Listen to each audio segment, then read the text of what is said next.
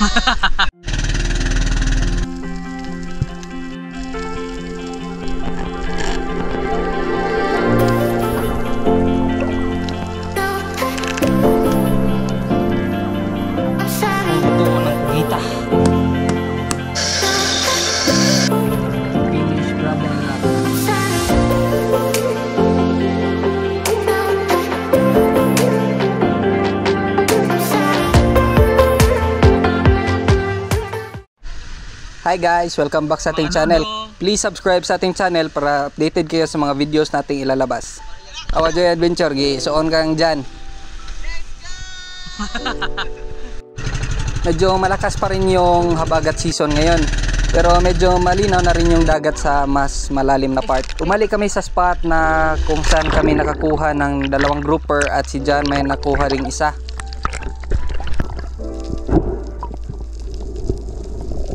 For a couple of dives na nag-check ako sa mga bato, wala nang laman. Kaya nagpasya na lang ako na mag-ambush.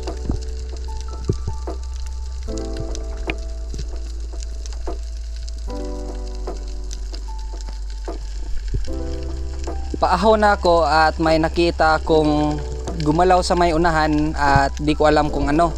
Tapos nilapitan ko, ayun, malaking octopus or kugita or pugita sa tawag sa Tagalog or Bisaya.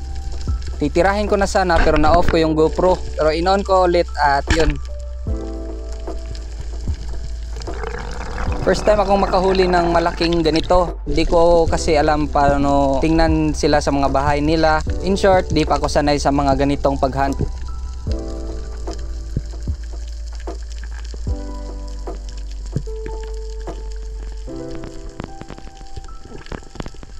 Humawak siya sa mga gilid-gilid ng mga bato kaya mahirap kong hilain.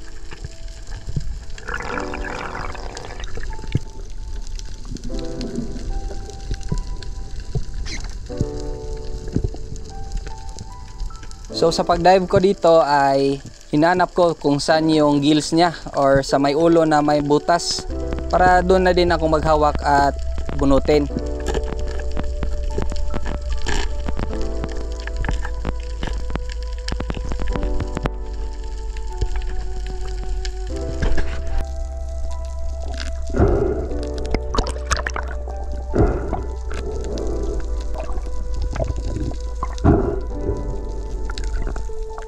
Pag-dispatch ko nito ay kinagamitan ko ng kutsilyo, yung bahagi na gitna ng kanyang mata. Yung iba ay kinakagat nila yung gitna ng kanyang mata. Mapangag ta.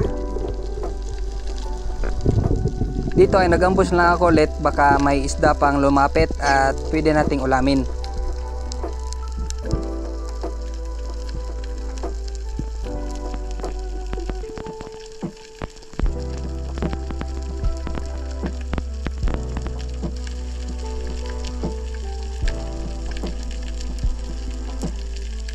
Dito ay may nakita akong titan triggerfish or pakol. Kaya nilapitan ko ng maigi and hope for the best.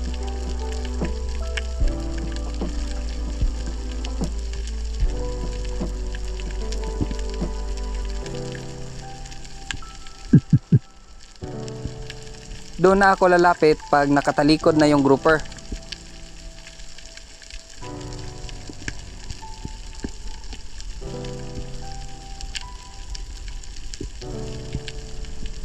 Bang! Sablay!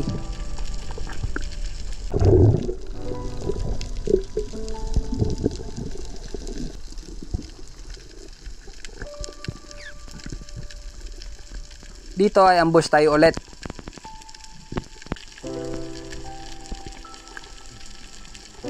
At may nakita akong katambak or emperor fish.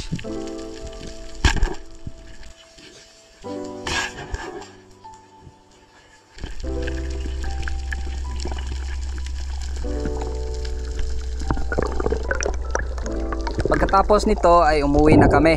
At sa pagdating namin sa bangka ay may lambat na naputol kaya kinuha na namin para malinis din yung dagat.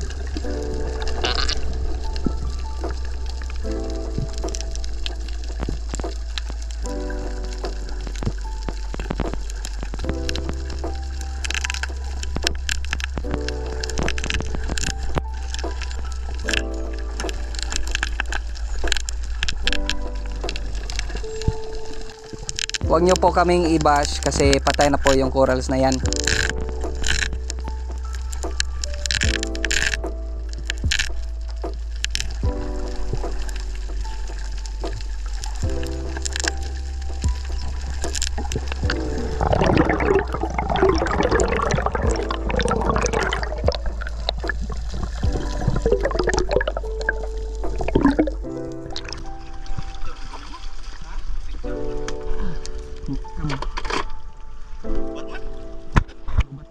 May nahuli pala si Jan na malaking grouper.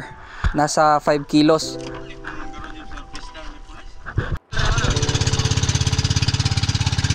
Pagdating namin sa baybay ay kumain na kami. Kapas mo naman ang kob-kob mga liwag! Kaon! Kob-kob! Kob-kob mga liwag! Sa tagingon ng mga nasok niya! Santa ka Boom. Ikaw na mo chicken joy tayo. Sa ay kahadlo. Pag uwi ko sa bahay ay ito na, catch and cook. So abot na ko sa balay. Akong lutuon ng kugita. Kidako man ni siya mga 2 kilo man. Ato ning dukdukon o grabber mallet para malata dayon. Ano siya? Oh. Kasi gidakon. Frozen man ni siya. Kung pa bugnaw daan ay kanang bugnaw ni daan deh. Di pa Yan eh. Dipros. Dukdukon ta ni tentacles and kuha na tong ata kay magsakit akong tiyan sa ata.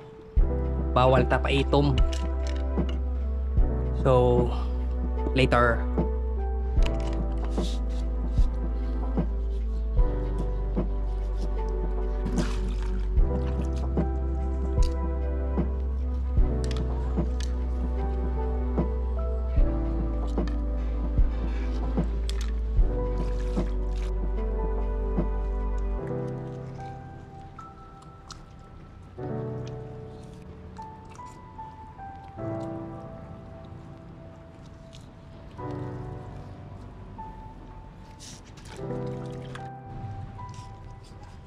you.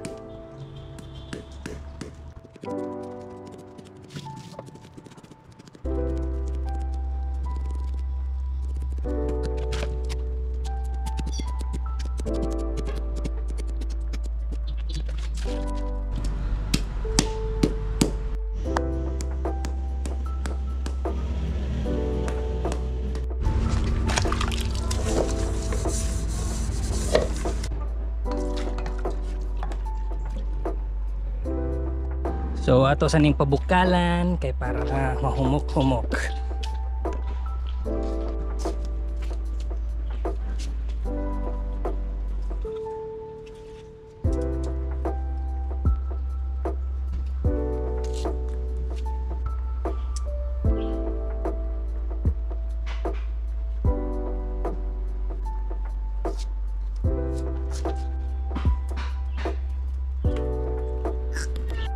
Pero kung may may oh.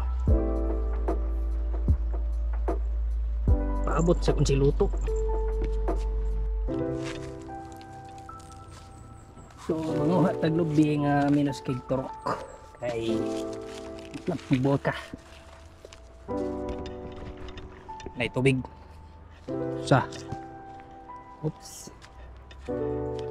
Ni Kini. Magbunot sa ta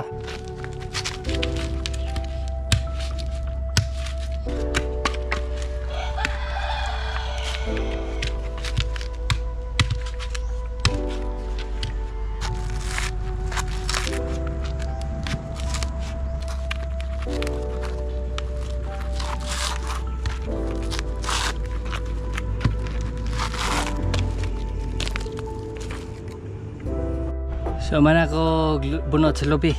Duha ka buhok. Pero dagang gig mga baho. Sakto ring duha. Gamiram to kita. Fire.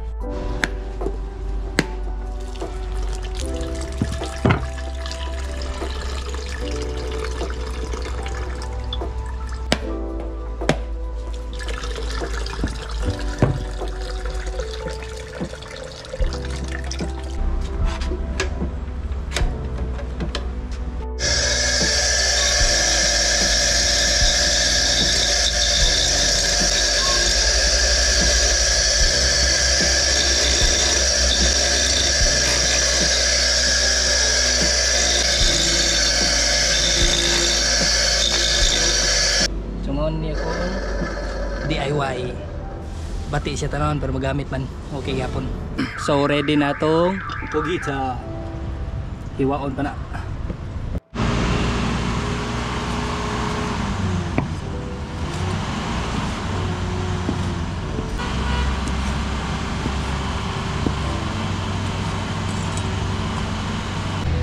Kompleto na itong tuno o kugita. Lamas na pod.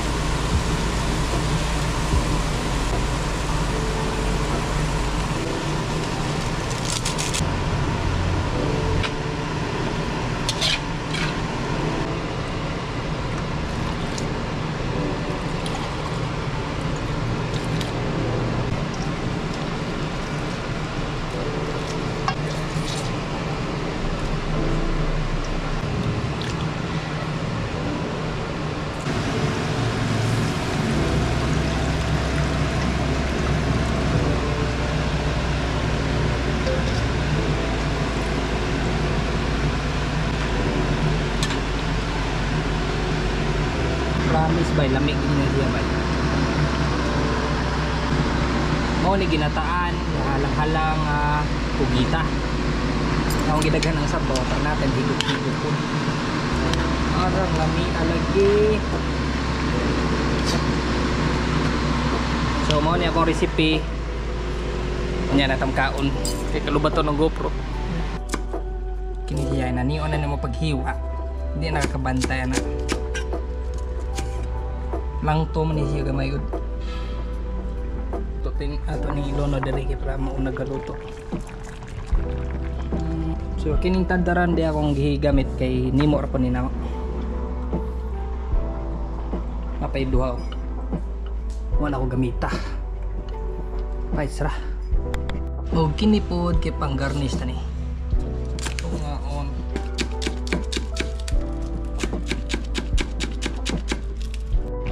finished product.